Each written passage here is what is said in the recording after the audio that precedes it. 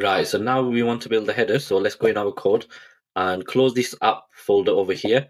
And in the top directory, I'm going to create a new folder called components.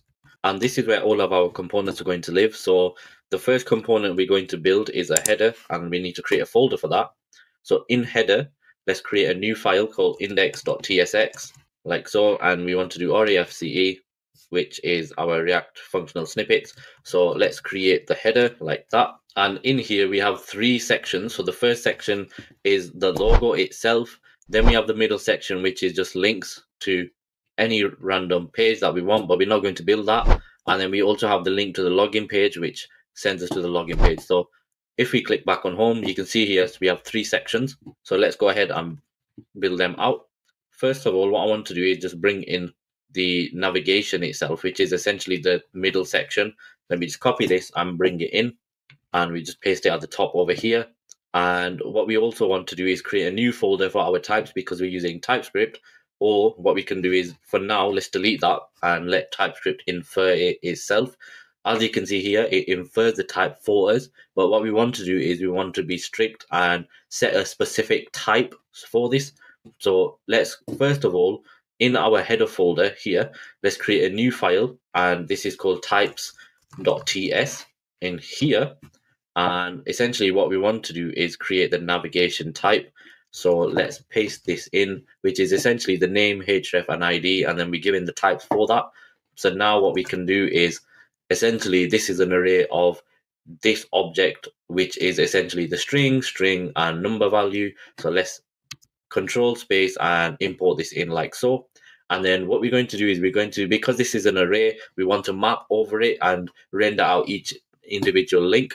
Uh, so we'll do that as well. So first of all, because this is a header, we want to use semantic HTML. So this is a header tag like so. And then in here, we want to have a nav tag. So in the nav tag now, this is where we will handle all of our content for the header. So first of all, I'm go I've got three sections. So the first section is going to be the logo. So let's map that out. Then we have the middle links and then we have the login link itself. So this is how you would map everything out. And then what we want to do is the logo itself is essentially a div. So let's create a div for this. And in this div, this is going to be a link because we want to click the logo and then navigate to the homepage. So let me do a link tag from Next.js like that, which is next link. And let's just use GitHub Copilot. And you can see here, it's suggesting everything we need to do in our link tag. So let me just save that for now. Because we're using Next.js, we should have an optimized image in here. So what we'll do is use the next image tag. As you can see, this is coming from next image and this will receive some props. So we also need to define a width and height for this. So let me give this image a width of 80 and also a height of 80 like so because what we're doing is we're using the next image which will is an image component is used to optimize images and this is necessary. We may run into some issues if we're using external links there. Therefore we need to update the next config.mjs file over here. But let's just do that for now. And then let's just check our browser. Let's see what's going on. So in here let me just refresh the page. Nothing has happened because we also need to import this component into our page.tsx file. So let's just do that for now. And in our app folder in here, in page, where main is, let's just do above it, paste in the header component in here, like so. And then this is showing an error saying we can only have one element. So we need to basically wrap it in React fragments like this. And then we do control spacebar and import that in. So now let me just save everything again. And all you need to do is now it says invalid link with a child. So we need to remove that. That's legacy behavior. So that's where GitHub Copilot let me down, but it's, it's fine. We can just carry on. So let me just delete them. And it's quite good to use GitHub Copilot, but again, you need to know what you're doing as well. And you may run into issues or occurrences where that happens because we're using up to date Next.js framework.